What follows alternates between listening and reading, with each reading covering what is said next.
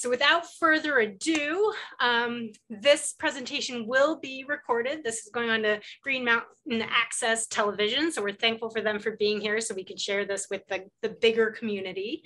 And it is my pleasure as our first speaker to welcome Dr. Bill Landesman. He is Associate Professor of Biology right here on the NVU Johnson campus, and he is going to talk to us today, give us a little bit of background on, on um, where he's come from, new to our faculty this year um, and talk to you about his research. So thank you very much for joining us today and I will hand it over to you.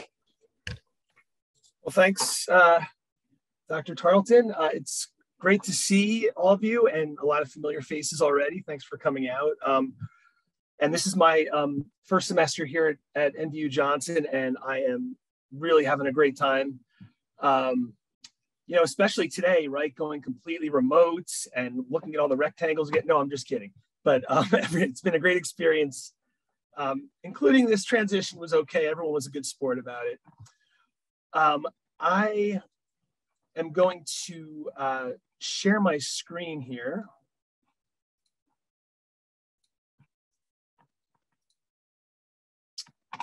And I should say hello to everyone out there on TV who's watching this. Thanks for tuning in. Um, that's really exciting. And um, man, a lot of pressure here for this talk, uh, high stakes.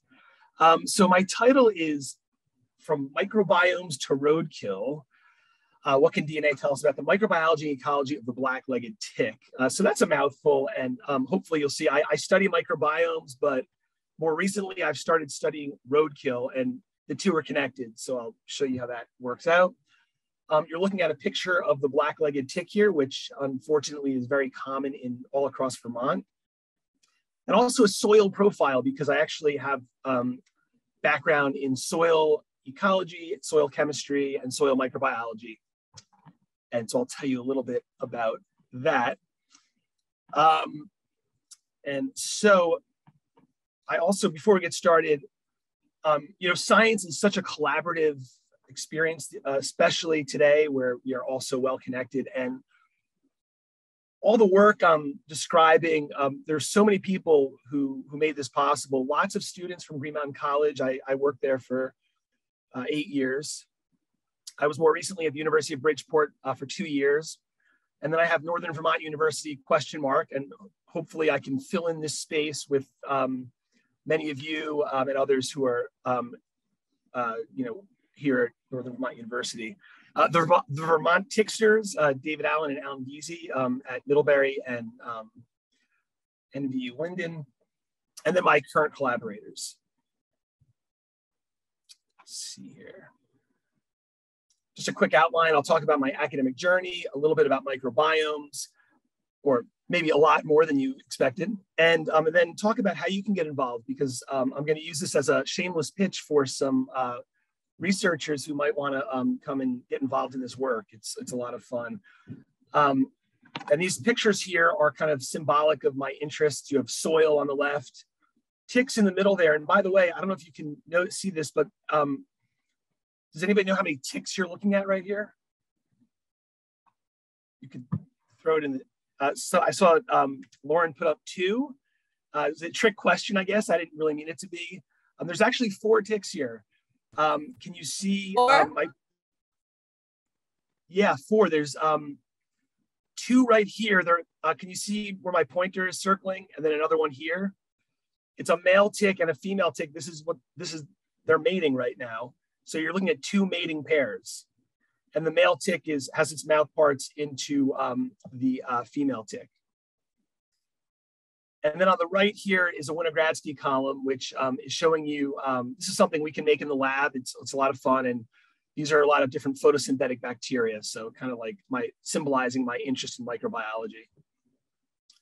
So my academic journey, um, I started um, that academic journey. I'll start with college. I went to Muhlenberg College, which is in Pennsylvania, and I majored in biology. So I am proudly still using my major. Um, a lot of my friends um, went on to do different things, which was great, but um, it is possible to, uh, uh, to continue to use your major. I minored in philosophy, which was um, really great. Um, to kind of complement um, that biological biology studies.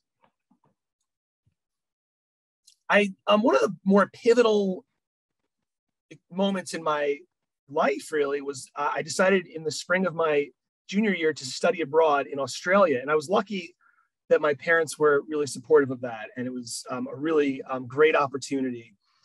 And um, I studied in the rainforests um, in North Queensland, Australia, and that's my first. Um, that was when I really first was exposed to ecology. And I've shown some of you in class of my, you know, we saw the cassowary and the strangler fig tree, right? That all comes from Australia. Graduate school, I went to Rut. Um, I see there's a, a. Caitlin, do you have your hand up? I yeah, I have there. a question. Would you prefer them to be asked at the end or like as you go? Uh, we could go as we can go long as as we go. That's fine. Go ahead. It's probably a stupid question, but I was wondering if they had like ticks in Australia or similar ones to us. Well, that's a great question. There there are ticks in Australia. Um, uh, I don't know that they have the black-legged tick. I actually haven't given that much thought. Uh, we could look that up really quickly. They it might be there. Uh, in very low numbers, but I don't I don't think so. But yeah, there are ticks all over the planet, different species. Um, the one we have here um, is uh, uh, and then there are other ticks in parts of the U.S. and in Europe that and other parts of the world that cause Lyme disease or something similar, but it's not always the same species. That's a great question.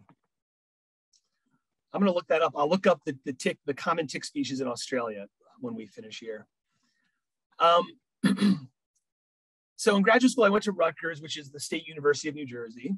And I was um, focusing on soil ecology, soil biogeochemistry, and microbial ecology. Um, and I worked in the New Jersey Pine Barrens, which is a big forest in southern New Jersey. On the right here, um, that's me. Um, uh, the, I constructed these shelters and I had these roofs to uh, block rainfall, and then I could control the amount of rain water that was applied to these plots and I studied the microbial response. So you can see me there, I've got a hose and um, it's hooked up to a, a, battery and it's drawing water from that, that rain barrel that's buried in the ground and I just, I'm watering my plots.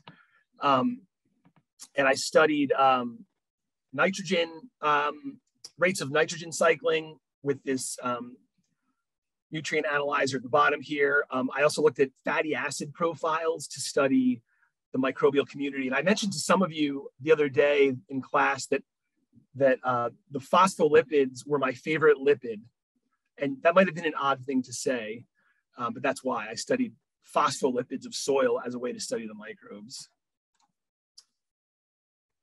Uh, so I did my postdoctoral research. That's postdoc. So after your doctorate, it's this stage uh, before going to become a faculty member uh, that many people take advantage of. And I worked at the University of Maryland in far Western Maryland, and I studied um, soils again using DNA analyses. I um, in the map on the left, there's a map of all the sites I visited, and I collected soil samples and um, compared how the microbes change over over space. And then I also had another study where I studied how the microbes change in a small plot. This is actually in my advisor's backyard. Uh, and I just sampled this um, over and over again every season. And then on every day that I sampled, I went out like every four hours and, and sampled how the microbes uh, change over the course of one day. So that's the kind of thing I was working on there. Then I became a faculty member and I've, um, this is my third institution. I, I started off at Green Mountain College and I'm sure many of you have heard of Green Mountain College. Unfortunately, we closed in 2019. Um, and I still live in Poultney, which is where Green Mountain College is located. The campus is still there. It looks still being used, and you, you, should come down and hope you can visit it if you like. Uh, then I moved to the University of Bridgeport after the closure, and I was there for two years. This photo is actually from my last day. I was moving out and took one last photo with a couple of my students, and then I was off. And um, I think I um, highlighted. Sorry, this um, I got a few things blocking my screen here. Yeah, so I'm circling my office at Green Mountain College right out front and then pointing to where my office was at the University of Bridgeport just for, just for fun. And here I am, right, at uh, Northern Vermont University, and we're already, there's my lab. Well, well, here it is back here, and we're already getting started. We officially uh, started lab research yesterday. So that's a little bit about my, uh, so Caitlin, is, that, is your hand up again or is that from the, the previous time? I'm not sure. Oh, is it still up? Sorry. Yeah, no, okay. I wanted to make sure. And actually, I can't really see anyone else's hand. Caitlin, oh, I guess if you if you raise your hand, you'll come closer to where I can see you. All right. So let's talk about um, microbiomes because that's a lot of what my research is about. And this might be a good time to um, open up the chat or you could shout it out or in the chat. Why are microbiomes so important? I'd like to hear um, what what you've been hearing about microbiomes, why you think they're important, um, that kind of thing. And I see, um, I'm not sure how to read your name there, but you've got your hand up. So go ahead. Pac, P-A-C-I-S, Joe, Pacus Jobia. Is that your last name? Hello. Yeah, no, my first name is. Okay. Um, I believe scientists study microbes to understand the fundamentals of how everything begins and how everything uh, like the origins of life yeah that's yeah that's that's a great one i've got a um actually let me just show you right now um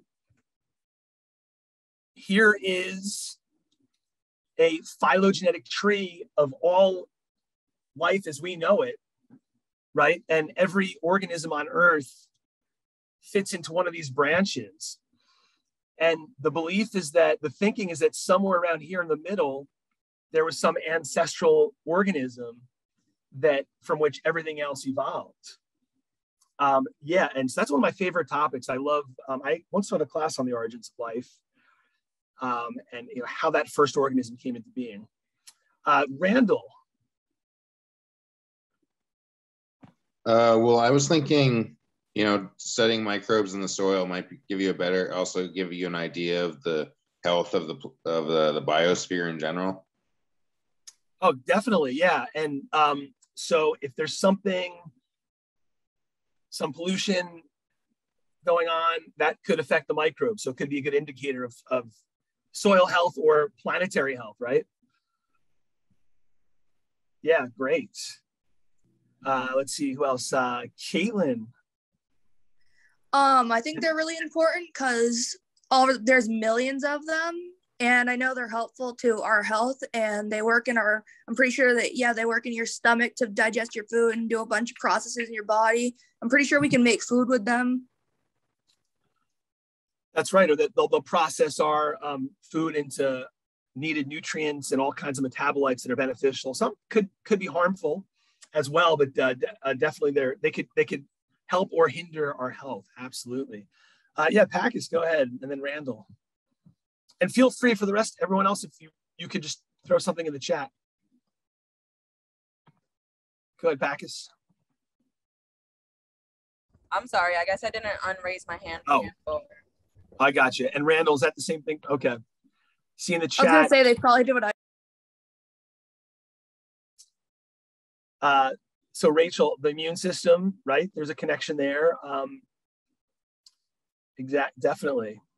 What else? you all want to, well, how about I tell you? That's a good list. Um, and before I go into microbiomes in more detail, uh, you've already, I'm really amazed. It's like you, did you see my, were you watching me make my talk? Because you've all hit on a lot of the points I was going to make, but there are a few others. But before I get into that, let me set the stage for microbiome research and talk about this great plate count anomaly. Um, so there was a time when it was really hard to um, study microbes. Um, we would we could use microscopes and we could grow them in a lab, but the problem is that um, when you try to grow microbes on a dish, which you see on the right here, you take take some environmental sample and grow them on a dish, and you might get one colony, and one colony represents one species, just many many individuals of the same species. And um, but if you look at that same sample under the microscope, you see all kinds of different microbes. You can tell they're different based on their, their shape and their size and their locomotion or lack thereof, how they move around. so this is a paradox. We, we can see so many under the microscope, but we can't really grow them. So there's probably far more microbes than we realize. And that, that is in fact the case. We, the, there are estimates that we can only grow about 1% of all microbes. And that might be, it might be more or less than 1%, but it gives you the idea that there's a lot out there we don't know about. And so we can use, um, today we can use DNA sequencing, which is a culture independent technique. We don't need to culture in order, which allows us to study microbes by looking at the DNA that we find so at least, you know, we can't see them under the microscope, we can't grow them, but we, we know they're there from their DNA. And so as I mentioned, um, we have this phylogenetic tree and most organisms on earth are microbial. So if you think about from a biological perspective, this is incredibly important. We are unable to grow the vast majority of what is most abundant on our planet in terms of living, in terms of life. And um, and most of this life is microbial. So what I'm circling there are the bacteria and the archaea, which have similar kind of cell types, a huge amount of bacterial diversity. In fact, right here on the right, this purplish area, these are all very new to science and they're all bacteria, but yet quite distinct from these over here. So they share similar DNA. Um, some aspects of their DNA are similar, the, the DNA that we use to make this tree, but they're probably very different in many ways as well. Down here, we have the eukaryotes. Now, we as humans are eukaryotes, so we're plants, animals, fungi, but most of the um, organisms in that eukaryotic branch are also microbial, protists, algae, um, things like that. And by the way, so the, the, the, the, the, the, how close or how far away these different branches are tells you something about how similar or distantly related they are. So it's a, it's a phylogenetic tree. So we are closely related to eukaryotes, we're actually more closely related to the archaea than we are to the bacteria, but we're still quite distinct from the archaea. And I see in the in the chat, can you make alcohol? Um, yeah, by the um, uh, some microbes will um, yeast and others will have alcohol as a byproduct. That's from the chat. Um, and microbes break down compost to be used for gardening or agriculture. Absolutely. So if you have a compost pile, it's kind of like your soil accelerated, right? And they are breaking down all that food and organic matter. And so what's a microbiome? Um, does anybody, um, well, I think you all have an idea. I'll, I'll just walk you through um, kind of the origin of this word here, um, a biome, and this is great for my ecology students because we'll talk about this soon. It's a major habitat type on Earth, right? And so we have tropical rainforests as a biome, uh, temperate forests that we have here in Vermont, that's a, another biome. They're, they're, they're characterized by their dominant um, vegetation. Um, and so a microbiome happens at a much smaller scale. There's, there's just, you can think of any habitat you, uh, you can imagine, and there are lots of microbes present, lots of diversity, and it's kind of like all of these different biomes, but at, but this very small scale, right? And sometimes the diversity is even greater than what you would see in an entire terrestrial biome, right? So what? So here a few more. I asked, you know, why are micro why are microbiomes important? Um, you hit on a lot of major ones. As you know, they're in our guts. Um, um, and they can be used as a, a warning sign of um, cancers, such as colorectal cancer. Um, and um, your, your gut uh, kit has a microbiome that could be um, healthy or not healthy, and, and a lot of that depends on um, what your gut is exposed to, what foods, environmental exposures, etc. This is a fascinating one. Um, the oral microbiome, the microbiome of your of your oral cavity, um, can actually influence the outcome of pregnancy, and it's a it's a complex um, interaction. But those microbes, um, especially when when there's a dis uh, an imbalance, like a periodontal infection, um, this can this can interact with um, with uh, developing fetus and and and have negative outcomes on on uh, pregnancy. Um, is that why people that are pregnant can have their teeth rot? Well, I, I don't. So someone asked, what I'm talking about here, can can um, pregnancy lead to tooth rot? I don't know the answer to that. All I can tell you is that um, periodontitis, if someone is pregnant and has uh, this periodontal infection, that can then um, affect the pregnancy. Um, it's also true, um, it seems to be true that the pregnancy itself can, can alter the oral microbiome. So there's an interaction there. And, and so I'm not familiar with that specific example, but um, it's, it seems like it might be part of this um, general topic. Uh, yeah, I see Joan, Jonah, is it? Give your hand up. Jonna. yeah, my, my grandmother had six kids and she lost her teeth. And the reason I guess is because the babies, um, because she had them in such a short period of time, the babies um, took all of her calcium out of her her, her body. Mm. Wow. Well, that's that's really unfortunate, but and um, thanks for sharing that. And I'm, the positive is that I learned something. I think that might be a little bit different from what we're talking about here, but I will admit that I'm getting a little bit outside my area of expertise. But um, but this is great, great areas of discussion. So there's a, this study um, came out a while ago and um, Noah Fierer and Rob Knight found that um, we're leaving a, a, microbial signature on our keyboards. We are inoculating our keyboards with our the fingers on our microbes. If you if you look at the microbes on your fingertips and the microbes on your keyboard, is if you're the only person using that keyboard, you're going to find that they're very similar and distinct from the fingertips and keyboards of some other person.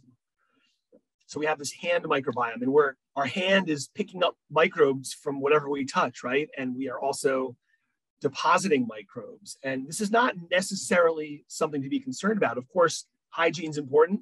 We have a global pandemic, and we're worried about uh, keeping uh, clean because we have this virus circulating around. But um, for aside from those obvious problems, um, you know, this is just part of our experience, right, throughout life there's this interesting showerhead microbiome project where um, it's a citizen science project and you if you were in this study you could get a kit and swab your showerhead and mail it back to the to the research group and they'll sequence it and tell you what's in your showerhead. And sometimes um, it's it's nothing to be concerned about. There could sometimes be some pathogens of concern.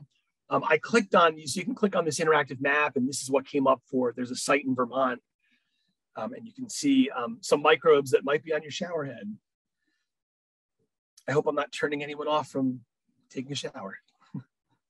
Soil microbiomes, right? This is something I do. And um, I really just, um, there's a lot going on in this picture. Um, we can have a whole discussion on this. Um, I guess for now, we, I would point out that on the ground there, those tree-like structures coming out of the ground, those are fungi and are represent the rich diversity of fungi in soils and, and how trees are wired up to one another through these soil fungi and lots of mutualisms going on there. We'll talk about this in ecology um, in a few weeks. Great image by um, Alan Rayner, who's a, who's a mycologist. Um, microbiomes can influ influence rates of pathogen transmission by mosquitoes. Okay, so there's a mosquito microbiome that could influence their ability um, to um, transmit pathogens. Uh, same with the tick microbiome. And this is what I study. Um, I study tick microbiomes. And on the left there, you're looking at some representative species that are in Ixodes scapularis. That's the black-legged tick that we have here in Vermont. And there's a, a picture of one. Um, and this microbiome is um, uh, believed to be helping the Lyme disease pathogen to colonize ticks. So tick takes a blood meal, and depending on the composition of the microbiome, that tick may be more or less likely to pick up Borrelia burgdorferi, which is the Lyme disease pathogen. This is an area of active research that myself and others are working on. And um, any questions before I get, I'm gonna get into a little bit more, we're gonna shift gears and um, get a little more into the science. Um, any questions or comments before I do that? I'm really psyched by all the questions. I'm this is I'm not used to this. You're a, a participatory group. That's awesome. So Randall and then uh, Jonna. Um, I was just going to ask. I mean, I, obviously this. I mean, I, I imagine this work isn't really life threatening, but is there any amount of personal risk in any of this research that you do? Like, well, are, are you at risk of getting Lyme disease or something? Yes, uh, there is definitely risk. Um, the, the risky part is not in the lab because by the time the ticks are in the lab, they are dead. And um, and and there's there's no chance for that Borrelia to to um, there, there's a there's a there's a there's sort of a, a process that the pathogen goes through before it becomes infectious, um, and it involves uh, the tick taking a blood meal. So if a tick is carrying Borrelia, that the, the pathogen, the Borrelia pathogen becomes more infectious as that blood meal is consumed, and there are physiological changes. And so that couldn't happen because the tick and the Borrelia are, are both dead. In the field, I, I collect ticks, and that is a risk, right? Because anytime we go into the woods in Vermont, uh, we, uh, especially during June and November, those are peak times. But other times of year, ticks are at all times of year, you have a risk of getting a tick bite. The one benefit I would say of of um, collecting ticks is that when I go out into the field and collect ticks, I'm super aware of the risk, right? So I um, I wear a one piece suit partly for research and, and it also helps to um, get the ticks off of me. And then when I finish collecting, I come home, I throw all of my clothes in the dryer for at least 10 minutes. I take a shower and I do a tick check. And twice a day um, for the entire field season, and this is good, good to do for most of the year, twice a day, do a tick check, and if at all possible, have uh, someone, uh, a partner, or someone to uh, check your back where you can't see. So so far so good. Um, the the, uh, the interesting thing is that um, sometimes when people um, stop collecting, they're not doing their research, but they're just out for a hike or they're camping. I've heard stories where that's where they then get Lyme disease because they let their guard down right? So if you were to go into the field and um, take soil samples, right? That's the same risk that I'd have, except you might not be thinking about ticks, whereas I am. You see what I mean? So it's definitely a risk, but in some ways I feel a little bit safer. So it's a great question, but um, for it's really uh, the more we can think about ticks, the better off we'll be. Um, any other, uh, Jana, you got a question? No, I tried to lower my hand. I don't know why it's okay. still up.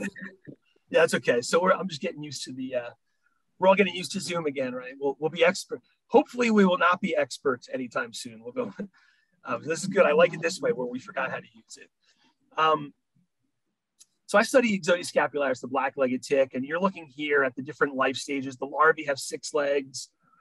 The nymphs and the adults have eight, and the, the adults, of course, are bigger the, the scutum here on the females, that's coming down about a third of the way, and the males, the scutum comes all the way down. Tick, tickencounter.org, by the way, is a great, um, a great resource for learning about ticks.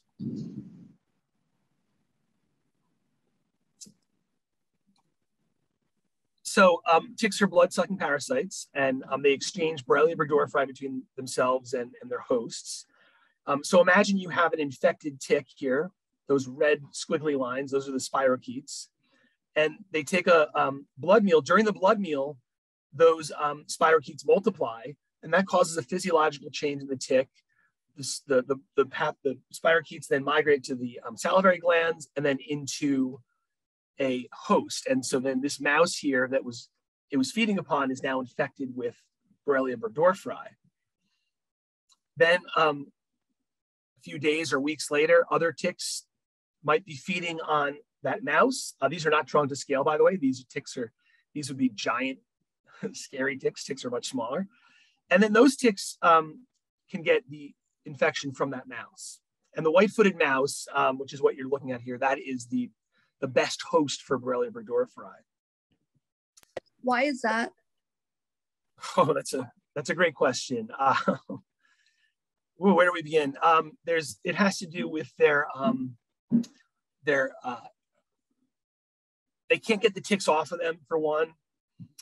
Um, their immune system is is not effective at fighting the infection, and um, they are um, in the same environment as ticks here in Vermont, especially disturbed sites.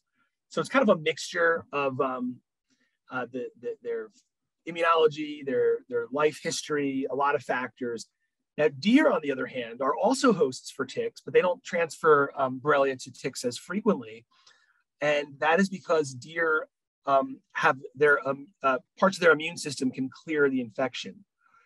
Um, there's a lizard out in uh, western, out in California that um, is a host for Ixodes pacificus, which is a different tick that also can carry Borrelia burgdorferi. And that lizard um, can actually, if it's if the tick is infected, the lizard will actually clear the infection from the tick. So animals have different ranges of tolerance for ticks um, in terms of their ability to, to pick them off. Like humans, we're really good at picking ticks off, right? They might harm us tremendously. Um, but um, I got a mess. Sorry, I had a distracting message on my screen. Um, but we're good at um, picking them off. Uh, question about moose. Um, now, the, the, the, ticks that are on the moose here in Vermont are uh, a different species, uh, the winter tick. The genus is Dermacentor. And um, that's a, it's a huge problem.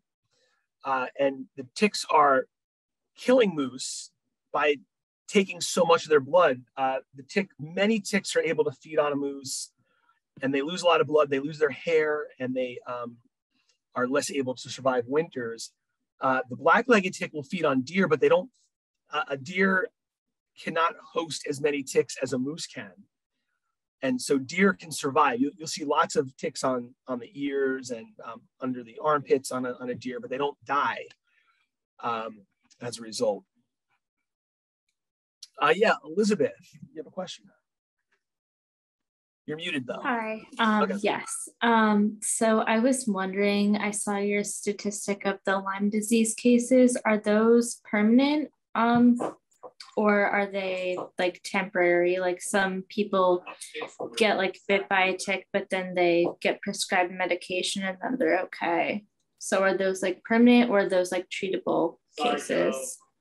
This includes every reported case, regardless of the severity.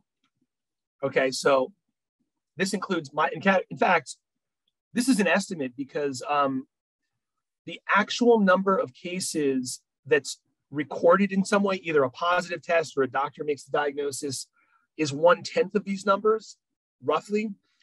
Um, these are um, kind of estimates of what the actual number is. So when we say, um, and they're and they're using um, in the 2010 to 2018, I believe they're using um, health insurance data. Um, so there could be a connection there to diagnoses. Um, but um, the number that's reported to the CDC is actually less than this. I think we're seeing something similar with COVID. Uh, unfortunately, I think that the, um, and we all know that, right? So if, if someone has a case and they, they don't even realize it, right? And then it's never reported. So Similarly, the actual number of COVID cases is probably much higher than, than what we're seeing. Um, do ticks pollinate or do anything beneficial? Nope, not that I know of. Uh, there's no no evidence that they, they certainly don't pollinate, and they're they're not really um, feeding um, on plants. They, they could like crawl around a plant. Um, I mean, I suppose they could spread things around a little bit, but that's not really what they do. And what do they have any benefit this is a question I get asked a lot, and what, what's their purpose or what's their benefit? Um, and the answer I give is not satisfying, but their, their purpose from an ecological perspective is that they are parasites. um, and it's um, their niche is parasitism, and um, they can do it, so they exist. That's sort of my ecological slash philosophical answer there. waste, waste of space. Um, yeah, I mean they're um, they're they're they're they're not. It, it's it's a really good question. Um, are there benefits? Um, I'll have, to, I'll have to try to think about that one some more.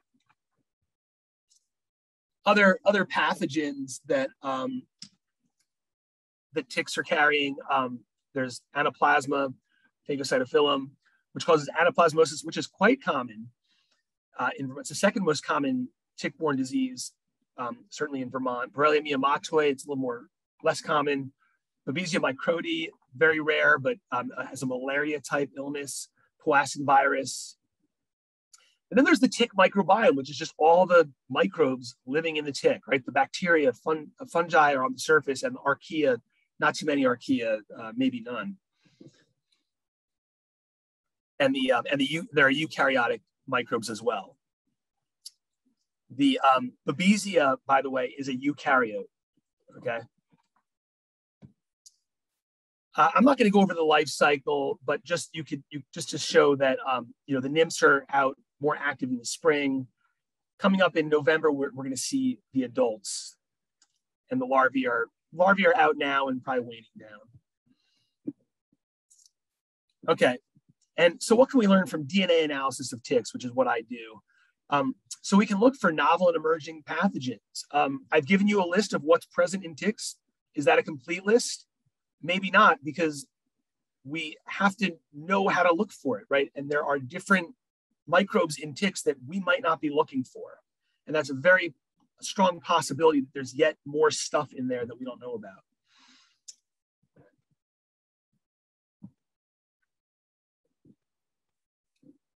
Um, and we can search for microbes that might harm ticks. Uh, fungi are actually predators of ticks. And so there are fungi that grow on ticks and some might reduce their fitness. That is their ability to reproduce. And we can look for those and maybe use them in some kind of control strategy. We can look for microbes that might be um, blocking Borrelia transmission. And there are some possibilities out there um, that um, some researchers. I, have I've worked on this and I have some ideas, and, and there are other groups that are doing really great work on this as well. And so that might help us to understand how to block, because it's really not the ticks that are making us sick, right? It's the pathogens they carry. Um, and we want to we want to target those pathogens. I have a question. Can, oh, sure. This is might be far out there, but I was wondering if there was a way, like you know, like Chris there's CRISPR, could you somehow like edit the gene on a tick so they couldn't pick up the virus and then like spread it to a bunch of ticks? Well, yeah, I mean that's an interesting idea. Um, you know, your your question falls into that broader category of can we genetically engineer ticks to to solve this problem? And the answer is probably yes, that's a possibility. Certainly with mosquitoes, there um, are projects, and they're quite controversial. Um, genetically engineered mosquitoes are being released into certain habitats to try to um, allow that new form to spread and um, become more dominant. And then you have this dominant strain of mosquito that that is not transmitting disease. Um, then there are that's a um, possibility, and then there's some some ethical or ecological considerations around that. Um, there are people uh, I'll show you an image later about how we might be able to control ticks.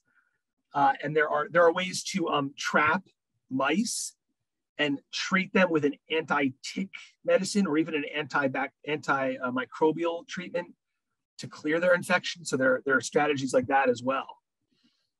It's a good question.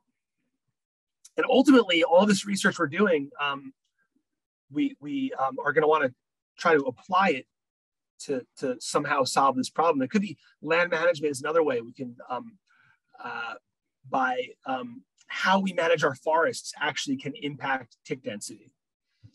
That would be a, a, great topic for another time. It might be too much for today though.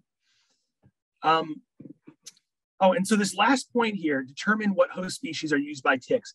So this is a little bit of a mystery. We know that ticks are generalists and they can feed on lots of different things, lots of different animals um, almost any mammal, lots of birds, anything with a backbone, really. The question is, what are they actually? Which animals out in Vermont and in the United States and the world are ticks feeding on in a way that is boosting their population size and increasing their rate of infection with Borrelia burgdorferi? And we have limited information about host use. And um, this is actually something I'm just starting to work on right now. I have a project that really is beginning right now where we, we can look at, and I'll tell you more about it in a second. Um, so my overall approach to this DNA analysis, um, this is going to be great for my um, cell bio students and anyone who might take cell bio or genetics to learn a little bit more about how this work is done. And for all of you, hopefully, you'll find it interesting. Um, so we can take some environmental sample. For me, it's going to be soil or tick. and we can extract the DNA, right? We just did that uh, yesterday here in cell bio in this lab. We, we um, extracted DNA from ticks. And then we can amplify a gene of interest through a process known as polymerase chain reaction. Um, and then we can use DNA sequencing to see if that what if we got that gene and what um, what that gene looks like. And we do that on a sequencing machine. Um, and I will just briefly mention um, the, the gene amplification. Um, we take, um, let's say there's this blue stringy stuff is just all the DNA in our sample.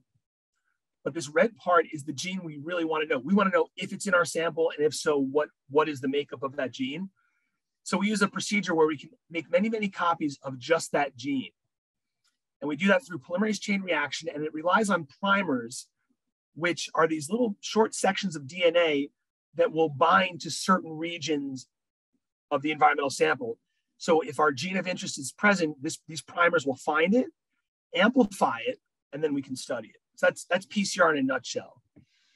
And we can sequence on, uh, this is the NovaSeq 6000. Uh, if you really want, in a single run, you could get like 50 billion DNA sequences. uh, and so if you were, depending on what you were studying, if you had a lot of samples and you were maybe studying the gut microbiome of the human, you might need to, to capture all of that diversity. Or you can do this for uh, genome sequencing. You want to study the human genome. Uh, you could use a machine like this to do that. All this, all the DNA in an individual or, or several individuals. So what does the data look like? Um, I thought I would just show you uh, what we're up against here. I'm going to show you a small data set, only a million sequences. So let me stop sharing my screen and I'm going to um, share, first I'm going to share this screen here. And each of these files is a different sample. In this case, it doesn't really matter what the samples are. So we have 10 samples here, okay? And if we open up one of those samples, it looks like this. And um, the top row here is information about the specific DNA sequence. The second row is the actual DNA sequence, ATGC, right? It's a genetic code. Then you have this plus sign for some reason. It's just the format of the file. And then you have these letters and characters. These tell you about the quality of your sequences. So my first DNA nucleotide is a C, and A is a measure of how confident we are that that's really a C. And A turns out to be like we're very confident. Some of these other codes mean, nah, it's not a good quality. Lots of, you know, that's beyond the scope of this talk, but you have the actual sequence, you have quality information.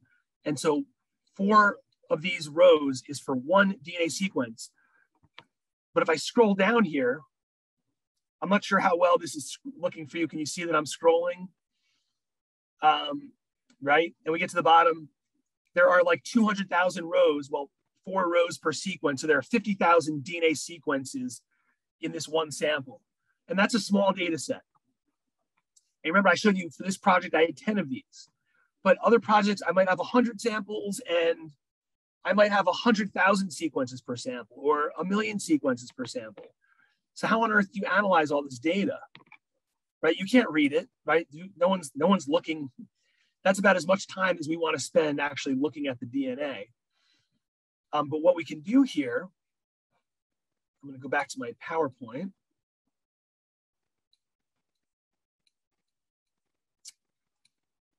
Uh, let's see here. We can, there's a lot of things we can do. This is one example we can make what's called a distance matrix. So we use um, bioinformatics software and statistical programs, right? For us, this is just magic right now, but I'll teach you more about it if you like. We can we can you can learn in depth how this is working, and you can do your own bioinformatics. Um, and we get a number for every tick, and we but the number is in comparison to another tick. So if we look at um, tick number two, and tick number one, where they intersect, it says 0.63. It's a measure of how similar those microbial communities are. And then we can go to um, tick, oh, I don't know, tick three and tick two. And it's this number, 0.59. So tick one and two are more similar to one another in terms of their microbiome than ticks two and three. Is everyone with me there? I can't see your faces right now because of the screen. I'm hoping you're all nodding yes, or maybe you just like totally uh, zoned out, which um, all these numbers are, have that tiring effect. I, I know. But so anyway, a bigger so, number is better. Well, better in terms of um, they're more similar. It's not better or worse. It just means they're more similar to one another. Lower number, the two ticks have different, more different microbiomes. So it's like a community profile. It's a community signature. It doesn't tell us what species are here, but it's a signature. Now, even this is too much, right? Because um, what is what are you going to make? And by the way, along the diagonal, there's zeros. That's because tick one um, is totally similar to tick one, right? You're just comparing the same thing. That that's obvious. But then what you do is you can use um, some kind of multivariate technique to visualize this.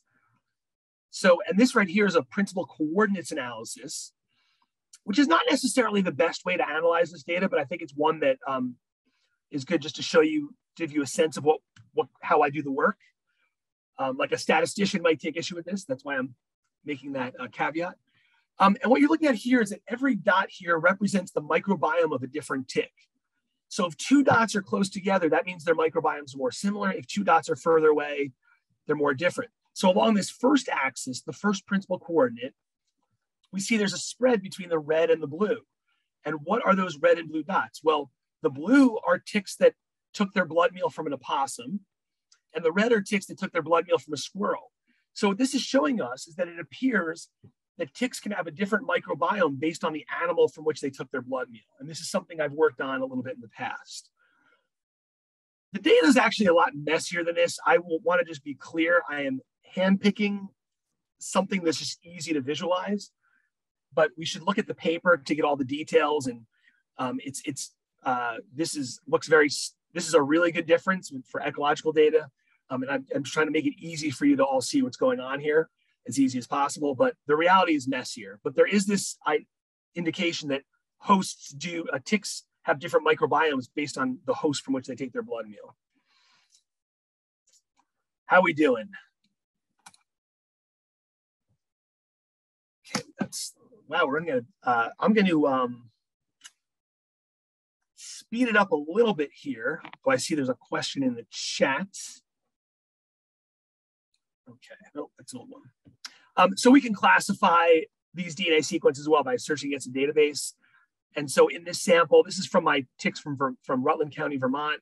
I found anaplasma, which is causes anaplasmosis. Um, Borrelia is right there. Rickettsia in blue, that's a really abundant microbe in ticks, and they are a, a nutritional endosymbiont. They are providing, they're, it's believed that they're providing the tick with um, B vitamins, which they don't get from their blood meal. And then there's other microbes we can we don't have to worry about right now. Now, this host um, a host DNA um, is interesting. Can we can we figure out what a tick has been eating by the DNA that's left over from its blood meal? And so a tick takes a blood meal from a mouse, let's say. Um, it gets a lot of host DNA and um, then it becomes engorged and then it molts into the adult stage and that adult stage has dna left over from its blood meal from the animal that it fed from. And so i did my i used my microbiome technique to look for host dna and i found um, in this small data set that all the ticks i looked at were feeding on um, white-tailed deer um, over Virginianus, okay? And we can don't worry about the rest of the details in this table just that my data is showing that at this particular site, which did happen to have a lot of deer, there was evidence that all of these ticks um, were feeding on white-tailed deer, which is very surprising because th these are adults I studied. Their last blood meal was as a nymph. That's a juvenile stage. We all know that adults feed on ticks, but what's less appreciated is the extent to which nymphs and larvae are feeding on deer. So this was surprising. And it's something that we wanted to confirm. So this is where we go from microbiomes to roadkill, because I wanted to find direct visual evidence to support um, this, this finding. And so um, we took advantage of roadkill uh, that unfortunately uh, deer get hit by cars, and um, but we can at least use this to study deer. The only time you can get a, a, a, a dead deer is during hunting season, usually. But um, we can also study deer when um, when there is a roadkill, and that's at other times of year. So, so during hunting season, the adults are feeding on deer and nothing else, not the other stages. But in July and June and May, you might see nymphs and larvae. And that's what we were trying to figure out. So we um, got a, a, lot of roadkill and um, we had, and we looked at, inspected them and found um, nymphs um, feeding on the deer. So this is direct evidence that this nymphal life stage will take a blood meal from deer. And so I'm not the first to find this, but um, this is indicating between my molecular data and this visual evidence, that this is much more common than we than we realized. More work needs to be done, however. Um, and the next thing we did is we took deer hides and we hung them over um, a pool of water. And um, so the, the, the, larvae are really hard to find. And if there are larvae on this deer, they're going to fall off into the pool of water, and then I can search the pool of water. Um, and this work um, is done by um, Abby Serra, who's actually a graduate of Lyndon State College. And Abby works for Fish and Wildlife but also worked with Alan Giese at Lyndon State College, now NVU Lyndon, on, on ticks. And so she was excited to get involved in this research. So she's providing me as a someone from Fish and Wildlife, she's responsible for getting the roadkill and can um, skin the skin the deer and bring it to me. But she also uses the meat from these roadkills for food banks. So as sad as it is that this deer is getting killed, uh, it's being used um, in food banks and for scientific research. Um, and we're not trying, we're not intentionally trying to harm a deer, but unfortunately this happens. Um, I see some questions, I'll get to those in a second. And so when we did this, we found 36 larvae. Okay, further supporting this idea that, that these juvenile stages feed on deer, um, which was we first got from molecular data. Um, so let me see. I got um, in the chat here. Um, are they good for the environment? Make. I will come back to these later. Yeah, Caitlin, do you have a question? Yes, I have yet another question. Sorry. Um, how do you make sure? Like, is there a way to make sure the uh, roadkill is fresh and has been sitting there for a while? Because I imagine if it's been sitting there for days, you don't want to give that to someone to eat. Oh, oh yeah, no, we, we are only using fresh roadkill. Um, and and for the, the research it needs to be fresh because after a certain amount of time the, the ticks that are in, attached will will detach and move off so if it's if it's been more than a few hours we don't use it and certainly for the uh, food shelters um, you know it's um fresh how can you tell how long it's been that it's been there um, that's a uh, uh, sometimes the deer need to be put down uh, they're they're not dead yet, right? They're, but they have to be put down. So then you know. Um, you can also, um, uh, there are um, ways from, I think I, I, you know, Abby, Abby has explained this to me and um, I'm not going to answer it because I'm, I'm probably going to give the wrong answer, but there are ways to know. Um, I'll, I, I can get, I can check with her and get back to you. Uh, but certainly, um, if it has to be put down, we definitely know the time of death, right? But that's a really good point, and it is something that's considered. Um, so we use the protocol. Um, I'm going to um, skip that and just mention that you can get involved if you're interested in tick collecting. This is we we drag a cloth around the forest floor, and um, this is how we estimate population size. In the lab, we do um, a great student um, way for students to get involved is through um, doing the DNA extractions um, and um, PCR. We can we can do pathogen detection. There's my PCR machine. It's still in the box. You see that box there? That's my qPCR machine. I haven't set it up yet. Um, and I have um, the roadkill project is ongoing. We're trying to expand that. Um, there's ways to do bioinformatics if you like computer programming and statistics, uh, GIS analysis. Um, these are all ways that um, there are projects that, that, there are opportunities. So I hope you'll, um, if you're interested in this kind of work, let you know, let me know and uh, we can talk. Um, and my last slide here, if you're interested in soil, let's chat. I actually, my training uh, is in soil ecology and soil biogeochemistry. Um, I've got a lot of interest and background in soils and so that's like a whole other talk, but I just wanted to mention that, that I have this other um, line of, of, of, research that I do. And I, I'd say I'm time for questions, but you've been all great about asking questions throughout. Um, and, but, you know, if there are more questions, um, I'd be happy to, um, or just discussion, be happy to do that now. Um, I have a question. Is there, is there a known cause, I mean, a known cure for, for Lyme or is it just like something that affects you? Like, I didn't fully get that. Um, is there a cause for what's the cause of Lyme disease? Is there a cure for Lyme disease? Oh, cure. Oh, cure. Um, no, there's um, the normal, and I, I should preface this by saying that I am not a medical doctor. The doctor in front of my name is purely it's a it's a, a doctor one of my um, well that's a, a, separate story. I'm not a medical doctor and um, i just know as a uh, a person who has a tick bites that um, the, the first thing that often is prescribed is doxycycline it's antibiotic but not always. Um, and that um, i just know from my friends who have had lyme disease that that is often effective but not always. And then of course we have um, sometimes there are these long-term problems that uh, are, are really complex and, and difficult to figure out but um, the best, as far as I know, is the antibiotic route, which often but not always helps a lot. Um, there was one in the chat, and I saw that, and I think I forgot. Um, do you know why fruit flies are used in testing food additives to see how they may affect human gut microbiomes? I'm unfortunately I'm not familiar with that. I'd have to reach Rachel look at that a little bit later. Uh, do their biomes have similar microbes? Uh, I thought mice are used for their nest by ticks and their life cycle and for keeping them warm in the winter. Well, okay, so the similarity of microbiomes, might have to help me out. I wasn't quite sure. Um, usually different organisms have distinct microbiomes. Even individual individuals of the same species can have different microbiomes, although usually it's more similar to than to microbiomes of other species. The ticks in the in the winter um, they overwinter by by um, burrowing into the soil and there's a lot of mortality. So ticks will die in a, in a cold winter but not 100% right? And so um, uh, even though there is mortality due to the cold they don't all die.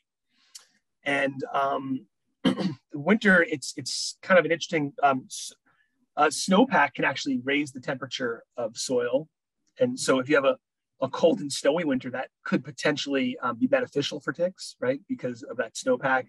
Um, those dynamics, people look at that and um, you know winter temperatures and snowfall, and it's a, it's really complex to study.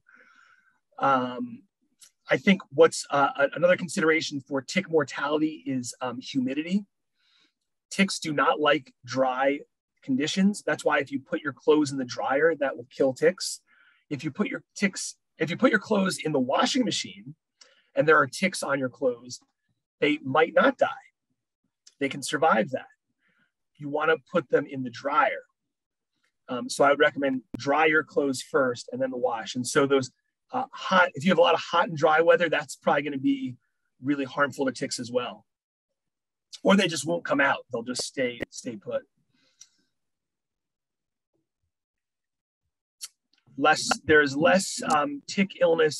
Uh, correct. You don't see many cases in Arizona. Um, strangely enough, though, someone just recently um, was looking for ticks on a beach in California, and they found them in the shrubs. Um, probably not in the sand. I would be surprised because that's going to be hot and dry, but but still near the beach, right?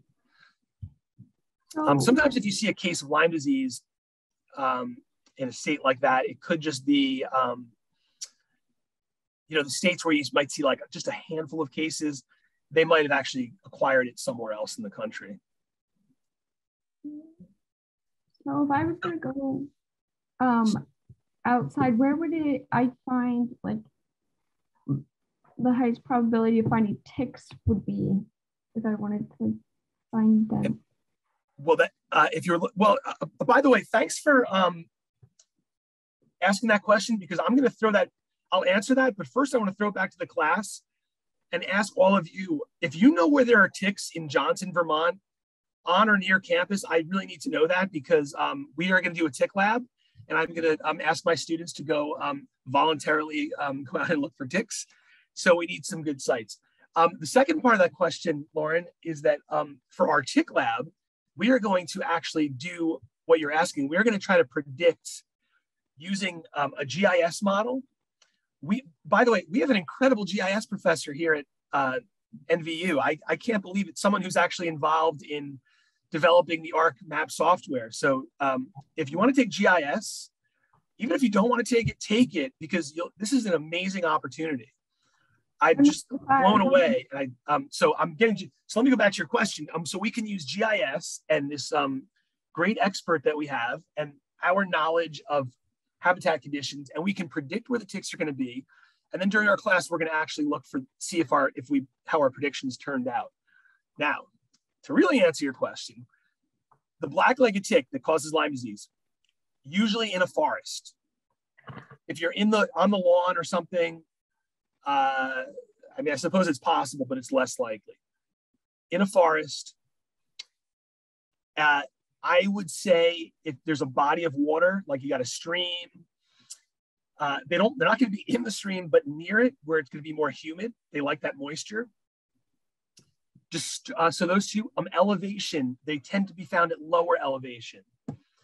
Those three, um, and if you all from ecology remember that, you can um, remember and you can spit that back to me when we get to this GIS lab. Those are the three that I'm going to be pushing. A disturbed site. So when we have disturbance, um, if there's a, um, a, a, clear cut and um, let's say a forest has been cut down, but maybe a patch of woods still remains where the ticks can survive. That's a that's an area where you might find a lot of ticks because um, the their host, the white-footed mouse, is really effective at colonizing those patches quickly. And so you might uh, and we do tend to see them in disturbed sites and sites with deer, right? Anywhere you see deer, um, you're likely to see a lot of ticks. And if, and if you see a lot of, do you have any Japanese barberry up here or honeysuckle? Anybody? Those are um, invasive species. They're probably further south. We've got it a little bit in southern Vermont, certainly in New Jersey, Connecticut. Those are associated with um, high uh, uh, tick densities. There's something about that habitat they like. And those plants are also correlated with deer abundance because when deer are present, they tend to facilitate the, the growth of these invasives. Yeah, Caitlin, did you have another question? Oh, and thanks, Rachel. So we do have yes. Um, I was wondering.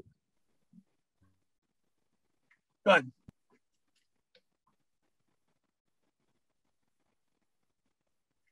I think you're muted, Caitlin. Oh, okay. Um, sorry. I was wondering if it would kind of be beneficial in a way, glo- global warming, since ticks don't like heat. So if like the Earth heated up, then I guess there'd be less ticks. Yeah, well, that's true. Well, well, what's happening is that they're they're moving further north into Canada, so their habitat is not. It, it might be being eliminated from one place, but it's becoming more suitable somewhere else. So we're seeing this northward expansion in part because of for that reason and just part because of you know, uh, how how they're being spread by by um, birds most likely. Um, so we're seeing the spread into Canada. oh so they're migrating? Yeah. And i i'm not sure that i, I maybe i maybe i'll go on the record and say i'll take uh, i'll take a tick-borne disease problem over the potential problems that could arise from extreme warming is that is that a controversial statement? I got to be careful what I'm saying. I'm on TV. I'm going to be on YouTube, but I think I'd rather take the ticks. I don't know.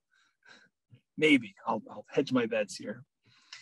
Um, what do you? But it's a great question. I get I get your point, Caitlin. It's a really good question. What do you think about handling the new approach uh, to ticks on moose? I've heard that the state of Vermont is allowing more moose hunting permits with the thought that the moose populations will go down enough that the tick population will also go down. Right. So um, if there's a hunt and you reduce the density of moose, it's going to reduce the ability of the tick to spread from moose to moose. What do I think about that? I I have no opinion. Um, uh, the, the, the, the question is which is going to be better for the moose population, right? Are we going to save more moose through a hunt or by not hunting? And I, I don't know enough about the science there to really chime in. Um, but the, I know the people working on this problem know what they're talking about.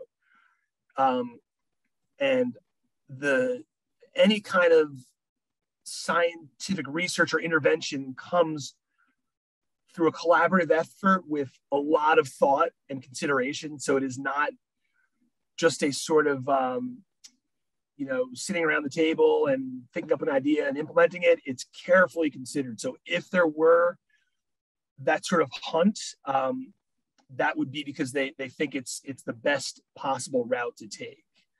But I don't really, I haven't read enough to really give you an opinion there. Um, and thank you, Rachel. Uh, Rachel, you have to tell me where that honeysuckle is. You can tell me that later. How do you know if it's a tick hurting a moose or brainworm? Oh, right. Well, that's um, great question. And um, through the behavior, uh, I think brainworm um, causes a certain behavior in the moose that's characteristic. And when you, I've never seen the winter tick on moose, but I've had it, heard it described and I've seen pictures, and it's very obvious when there are ticks crawling on a moose. There's so many, um, and you can't miss it. You don't even need to be a tick. If you are aware that it could be a tick and you see the moose, you'll you'll probably it'll probably be very clear. Um, that's what's and if the moose is, has died, you you if it's fresh enough, you might see it find those ticks. Uh, yeah, Jana. By the way, I know we're wrapping up. I just want to say um, until today, it was NV uh, University of Vermont. I gave a talk there a few years ago, and I got more questions than ever before. Um, but now um, you you win. All right, this is so many questions. I wasn't I wasn't ready because usually I don't get a lot of questions just because. So this is awesome in a good way. I wasn't ready. Okay, so thank you so much uh, for um, for uh, all your great questions. Uh, yeah, Jana. I was just going to more along the lines uh, give a comment. If, if a species loses its source of food, um, they'll probably resort to another another species. Right. Yeah. Tell me now. How now? What were you thinking there in terms of the black-legged tick or? Um, well, the moose situation. Um, you know, if, if they don't have a moose to, to feed on, um, they'll obviously migrate to find new sources of, of food or die off, but most likely they'd find new sources of food. Yeah, that, that's a really good point. And so we're, we're going to do some intervention. And then what is the outcome?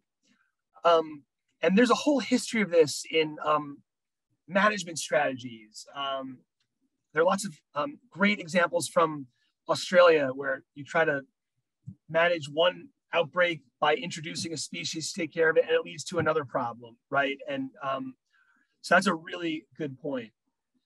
Um, yeah, thank you. What else? Uh, yeah, Lauren. Have you taken a DNA sample from a tick with Lyme ever? There's say that can we get a DNA sample from? Have you ever taken the DNA sample of the tick with Lyme disease and thawed? Have ever had a, a, a, a, sample from a tick that's carrying the Lyme disease pathogen? Yes, all the um, I would say about um, now my study sites are in Rutland County, Vermont, near Green Mountain College, and depending on the site, 20 to 50 percent of the ticks are carrying it. Um, for, those are the nymphs, and the nymphs have only had one blood meal. If you look at adults, adults have had two blood meals, so two chances, and so the rate could be 60% or higher. It's very, very common. And I don't know what the infection rate is up here, but it's probably similar. So if you get a tick bite, um, I would say there's uh, there's a a, um, a good percent there's a there's a strong chance that it's carrying the pathogen and then it, for it to pass it on to you, it has to be attached for a certain amount of time. Sometimes people will say it needs to be attached for 24 hours or more because there's a physiological change that takes place in the in the bacteria before it can infect you. Um, but I don't know for sure that that's hard and fast. It could perhaps it could take less than 24 hours. Um, but the, the good news is that if you have a tick bite, don't panic, just remove it as soon as you can. It's not, you've got some time. I've had tick bites um, that I missed of the tick and I pulled it out the next day and the, the nymph had a little bit of blood in it. And I did not um, acquire the disease. And, and um, well, I don't know if it was infected or not, but um, so, so you have tick checks are really a good way to um, prevent Lyme disease. Um, I found a tick this summer. It didn't bite yet. Like, like they crawl around. Um, so little. How much blood can they suck? Well, that's um, so. If you come by the lab, I can show you. I happen to have an engorged tick. It's dead in alcohol that we picked off a bear. Uh, that um, uh, and and you can see. I can show you how big they are. They will um, really blow up like a jelly bean size, the adults. And for the nymphs, like a, a small, like a like a tic tac, something like that, roughly. So they they really go through a they look radically different when they have their blood meal. Do you recommend getting tested as soon as finding a tick stuck to you? And I I, I should probably avoid the medical advice. Um, uh, so if you could ask me later, uh, I'll tell you what I would do as individually, but probably not. I'm not going to do that here. Sorry. I've been warned not to do. Uh, uh, I shouldn't give. I'm not a doctor, right? Well, we are right at 5:15, and it does. I don't see any more questions rolling in, but feel free to stay if um, Dr. Landesman has more time to ask more questions or find him. He is in Bentley. Come visit us over here as soon as we can um, start interacting and socializing again, hopefully soon. Um, so thank you so much. This was a great kickoff to our current topics in science season. And it's really exciting to know that these opportunities are on campus for students. So I highly recommend everybody um, go check out the lab, go see what else is going on down there. And um, I will see you next week. Next week will also be on Zoom, um, but you know, keep an eye on the modules and the announcements for any updates. Um, thank you everybody. And I hope you have a very safe um, and great rest of the week. I'll see you next time.